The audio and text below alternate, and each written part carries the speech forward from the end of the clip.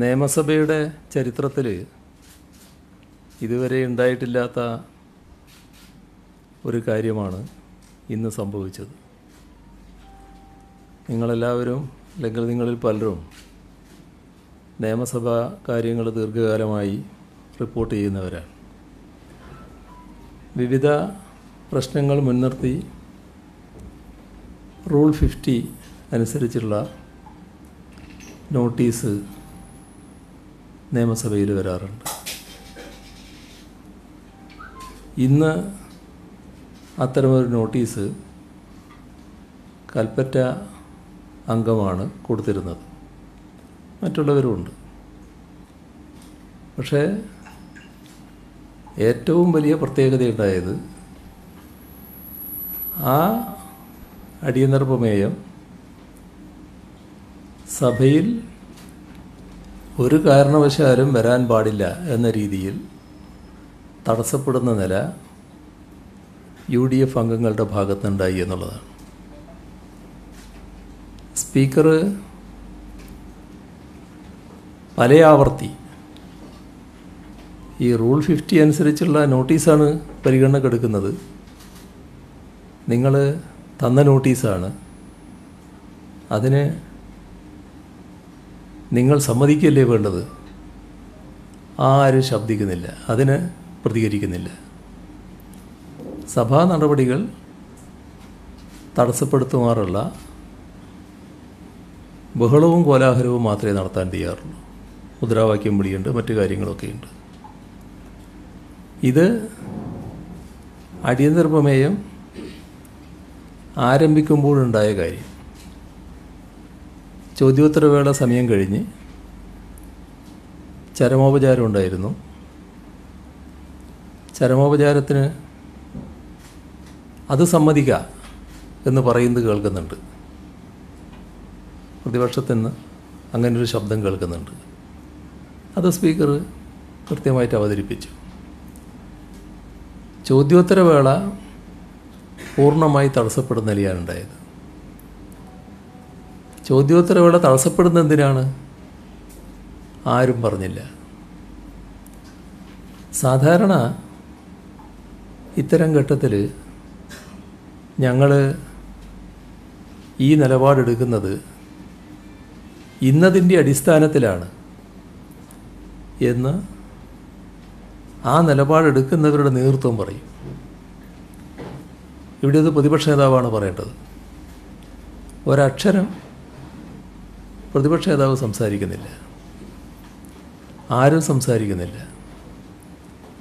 നേരെ മുദ്രാവാക്യം വിളിയും വെല്ലിലേക്ക് ഇറങ്ങലും സ്പീക്കറുടെ മുന്നിലേക്ക് ചെല്ലലും ബാനർ ഉയർത്തി സ്പീക്കറുടെ കാഴ്ച തടയലും ഇങ്ങനെയൊക്കെയുള്ള കാര്യങ്ങളാണ് നടന്നത്. അപ്പോൾ ചട്ടവിരുദ്ധമാണ് ബാനർ ഉയർത്താൻ പാടില്ല എന്ന് സ്പീക്കർ ആവർത്തിച്ച് പറയുന്നുണ്ട്.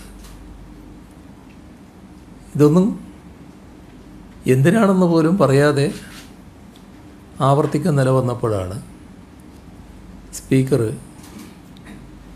സ ചോദ്യോത്തര സമയം നിർത്തിവെക്കുന്നതിന് തയ്യാറായത്. അപ്പോൾ എന്തുകൊണ്ടാണ് ഇത്തരത്തിലൊരു നിലപാടുണ്ടായത് എന്ന് ഒരു തരത്തിലും മനസ്സിലാക്കാൻ കഴിയാത്തതാണ്.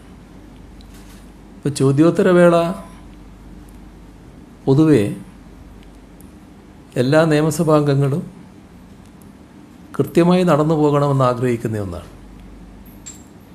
ഒരുപാട് പ്രശ്നങ്ങൾ അതിന്റെ ഭാഗമായി ഉയർത്താൻ കഴിയും. നിലവിലുള്ള ചില പ്രശ്നങ്ങളിൽ വിശദീകരണം നേടാൻ പറ്റും.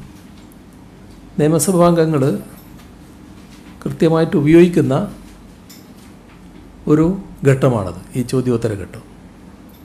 പക്ഷേ അത് പൂർണമായി തടസ്സപ്പെടുത്തുന്ന നിലയാണ് ഉണ്ടായത്. അപ്പോൾ ഇവിടെ വരുന്ന പ്രശ്നം എന്താണ് പ്രശ്നം? അത് സഭയ്ക്ക് മുന്നിൽ പറയാൻ തയ്യാറല്ല. സഭയിൽ അവതരിപ്പിക്കാൻ തയ്യാറല്ല. അടിയന്തര പ്രമേയം അവതരിപ്പിച്ചാൽ സാധാരണഗതിയിൽ എല്ലാവർക്കും അറിയാം. ആ അടിയന്തര പ്രമേയത്തിനുള്ള മറുപടി സർക്കാരിന്റെ ഭാഗത്തു നിന്നുണ്ടാവും ആ മറുപടി കേൾക്കാൻ തയ്യാറല്ല. അത് ഉന്നയിക്കാൻ തയ്യാറല്ല. അപ്പോൾ നിയമസഭയോട് ഈ രീതിയിലൊരു സമീപനം. ഇതേവരെ നമ്മുടെ സഭയിൽ ഉണ്ടായിട്ടുണ്ടെന്ന് പറയാനാവില്ല. അതാണ് ഇന്നത്തെ സഭയുടെ പ്രത്യേകത.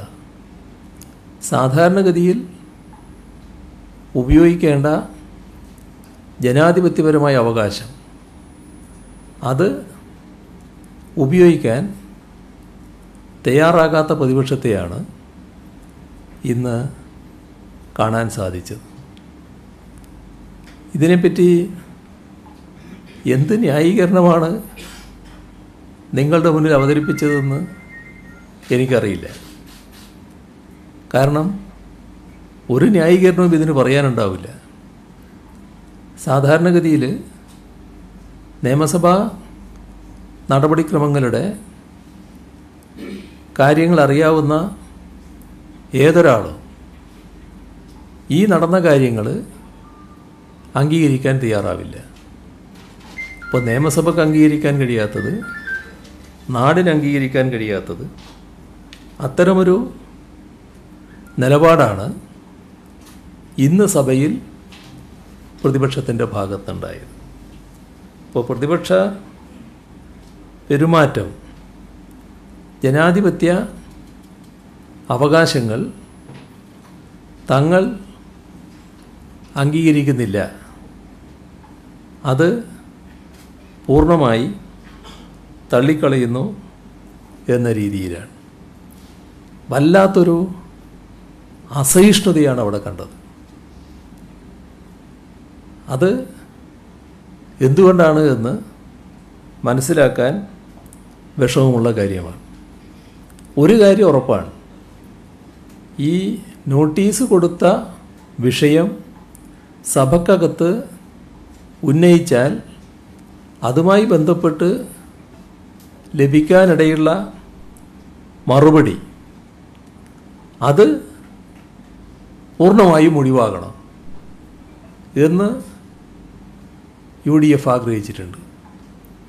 അതുകൊണ്ടാണ് ഇത്തരത്തിൽ ഒരു നിലപാട് ഉണ്ടായത് എന്നതേ അനുമാനിക്കാൻ കഴിയും.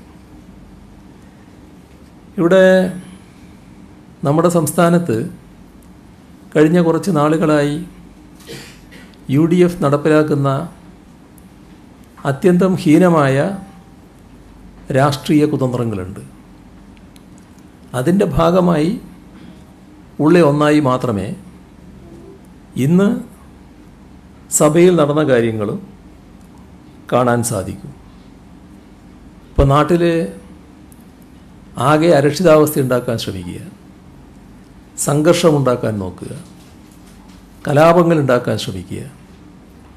അതിന്റെ മറ്റൊരു പതിപ്പ് നിയമസഭയിലും ഉണ്ടാക്കാൻ കഴിയുമോ? അതാണ് ഇന്ന് പ്രതിപക്ഷത്തിന്റെ ഭാഗത്തുനിന്നുണ്ടായത് എന്ന് വേണം കണക്കാക്കാൻ. ഇവിടെ നിയമസഭക്കകത്ത് കാര്യങ്ങളൊന്നും പറയാതെ പുറത്തു വന്ന് കാര്യങ്ങൾ പറയുന്നതാണോ ശരിയായ രീതി? നിയമസഭയിൽ കാര്യങ്ങൾ ഉന്നയിച്ചാൽ ആ ഉന്നയിച്ച കാര്യങ്ങൾ എന്താണെന്നും അതിന് മറുപടി പറയാനുള്ളത് എന്താണെന്ന് കേൾക്കാനുമുള്ള അവസരമുണ്ടാക്കണ്ടേ? അതിനൊന്നിനും തയ്യാറാകാതെ സഭയിലുള്ള കാര്യങ്ങളെക്കുറിച്ചുള്ള തങ്ങളുടേതായൊരു വീക്ഷണം പുറത്തു വന്ന് അവതരിപ്പിക്കുകയാണ്. അതിൽ അസൗകര്യമായ കാര്യങ്ങളെല്ലാം ഒഴിവാക്കുന്നുണ്ടാവും. എന്തുകൊണ്ടാണ് ഇങ്ങനെയൊരു നിലപാടെടുത്തത്?